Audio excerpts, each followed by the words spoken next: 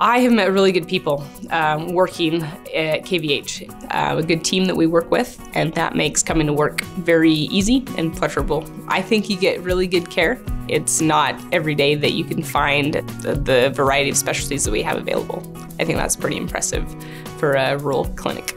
Some of the things I've really liked over the winter time is they had open gyms for basketball and pickleball, and they have outdoor pickleball courts, um, which have been fun to play in. My commute is maybe a five minute walk or bike ride to work, and I really like that.